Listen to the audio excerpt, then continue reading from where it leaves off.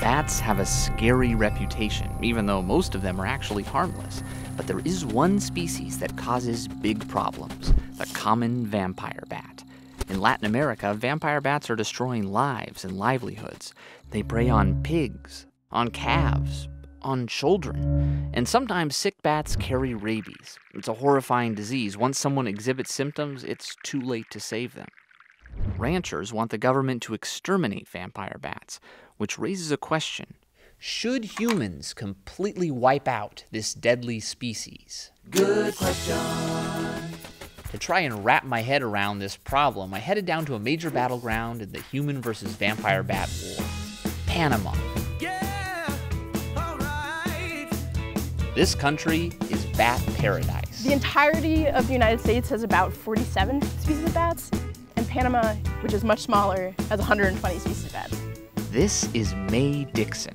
She's something of a walking bat encyclopedia, and she told me there's a lot of confusion about bats. A really huge one is that people think that all bats are vampires. And that couldn't be further from the truth.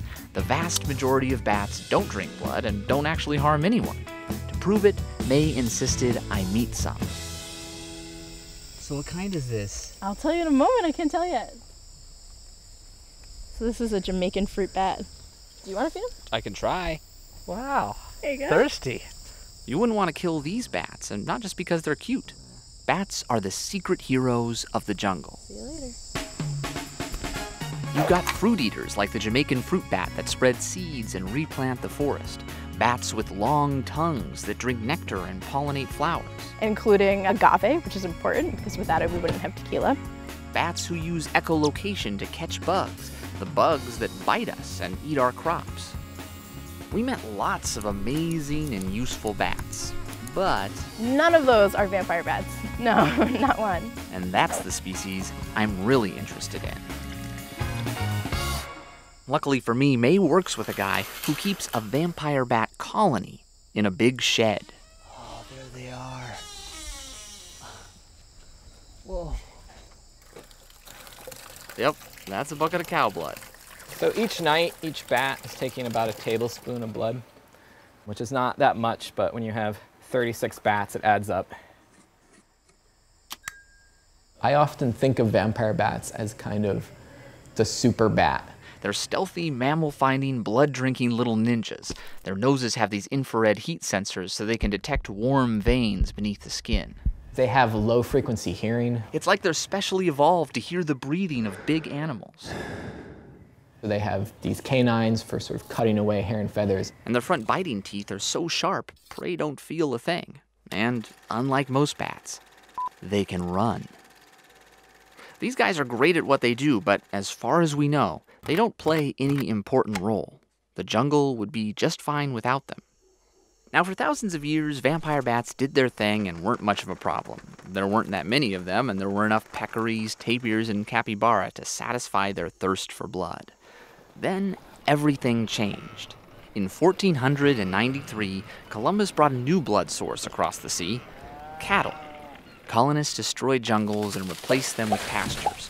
The herds multiplied, and vampire bat populations shot up with them. And that's when they started causing problems for ranchers. This is still going on today. This map shows where trees have disappeared in just the last 15 years. In many of these places, ranchers are trying to make a living on the very edge of vampire bat territory. The town of Pueblo Nuevo is a perfect example, so I decided to pay it a visit. Here, life revolves around softball, fishing, and most important, the vampire bat's favorite food. Where are the bats? They're waiting for sundown in the hills just outside of town. A guide named Austin Garrido agrees to take me into the bat caves. They're this view into an alien world.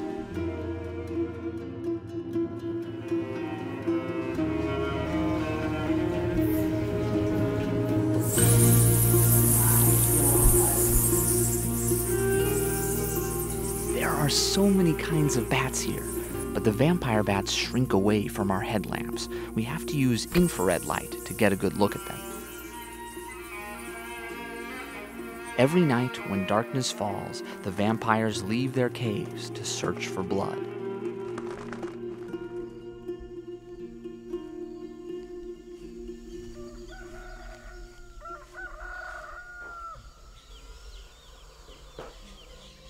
Los nietos míos que vivían allá donde están las vacas, ellos vivieron tiempo allá y amanecían mordidos los pies.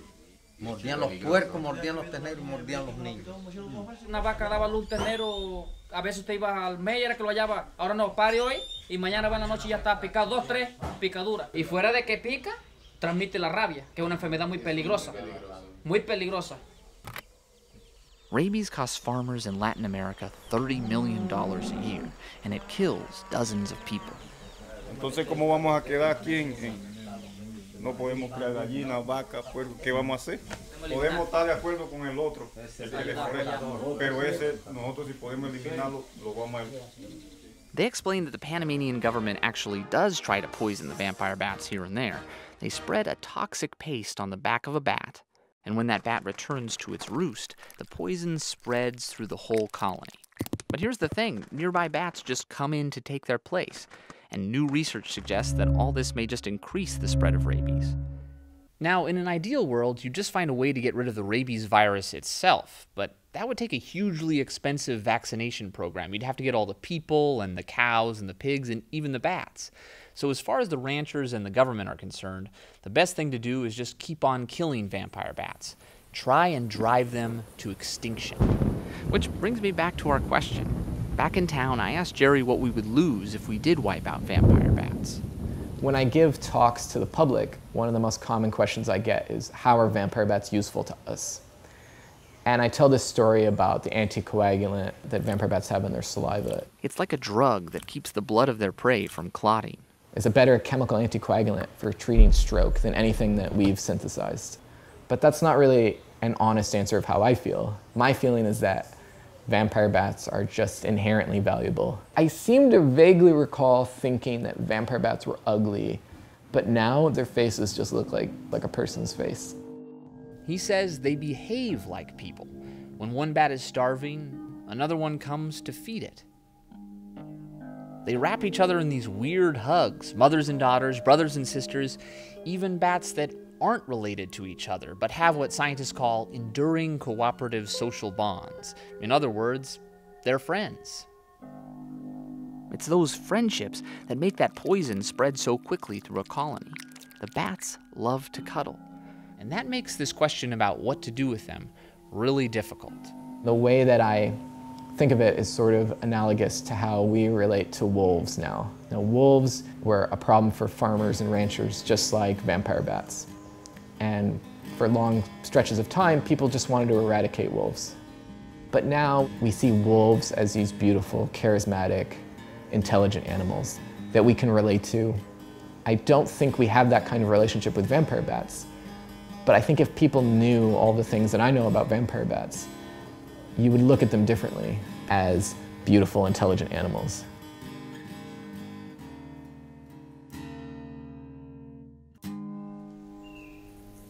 If you have questions for Skunk Bear, submit them via this link. And please like, comment, and subscribe to our channel.